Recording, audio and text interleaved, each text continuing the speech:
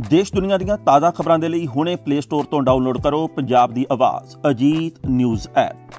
ਹੁਣ ਤੁਹਾਡਾ ਆਪਣਾ ਅਜੀਤ ਹਰ ਸੋਸ਼ਲ ਮੀਡੀਆ ਪਲੇਟਫਾਰਮ ਦੇ ਉੱਤੇ ਉਪਲਬਧ ਹੈ। ਫੇਸਬੁੱਕ ਦੇ ਉੱਤੇ ਹੁਣੇ ਲਾਈਕ ਤੇ ਫੋਲੋ ਕਰੋ ਅਜੀਤ ਦਾ ਅਫੀਸ਼ੀਅਲ ਪੇਜ ਡੇਲੀ ਅਜੀਤ ਤੇ ਹਾਂ, ਨਾਲ ਹੀ ਦੋਸਤਾਂ ਨੂੰ ਪੇਜ ਲਾਈਕ ਕਰਨ ਦੇ ਲਈ ਇਨਵਾਈਟ ਕਰਨਾ ਨਾ ਭੁੱਲਣਾ। ਇੰਨਾ ਹੀ ਨਹੀਂ, ਹਿੰਦੀ ਦੇ ਵਿੱਚ ਖਬਰਾਂ ਵਾਸਤੇ ਲਾਈਕ ਤੇ ਫੋਲੋ ਕਰੋ ਸਾਡਾ ਫੇਸਬੁੱਕ ਪੇਜ ਅਜੀਤ ਸਮਾਚਾਰ ਹਿੰਦੀ। YouTube ਦੇ ਉੱਤੇ ਵੀਡੀਓ ਖਬਰਾਂ ਦੇਖਣ ਦੇ ਲਈ ਹੁਣੇ ਸਬਸਕ੍ਰਾਈਬ ਕਰੋ ਅਜੀਤ ਦਾ official YouTube channel Ajit web TV ਤੁਹਾਡਾ ਆਪਣਾ ਅਜੀਤ ਹੁਣ ਟਵਿੱਟਰ ਤੇ ਇੰਸਟਾਗ੍ਰam ਦੇ ਉੱਤੇ ਵੀ ਉਪਲਬਧ ਹੈ। ਟਵਿੱਟਰ ਦੇ ਉੱਤੇ ਖਬਰਾਂ ਦੇ ਲਈ ਫੋਲੋ ਕਰੋ ਡੇਲੀ ਅਜੀਤ ਤੇ ਇੰਸਟਾਗ੍ਰam ਦੇ ਉੱਤੇ ਖਬਰਾਂ ਦੇ ਨਾਲ-ਨਾਲ ਵੀਡੀਓ ਦੇਖਣ ਦੇ ਲਈ ਫੋਲੋ ਕਰੋ ਬਲੂ ਟਿਕ ਵਾਲਾ। ਸਾਡਾ ਅਫੀਸ਼ੀਅਲ ਚੈਨਲ ਡੇਲੀ ਅਜੀਤ। ਤੁਹਾਡਾ ਆਪਣਾ ਭਰੋਸੇਯੋਗ ਚੈਨਲ ਤੁਹਾਡੀ ਆਪਣੀ ਆਵਾਜ਼, ਪੰਜਾਬ ਦੀ ਆਵਾਜ਼ ਅਜੀਤ।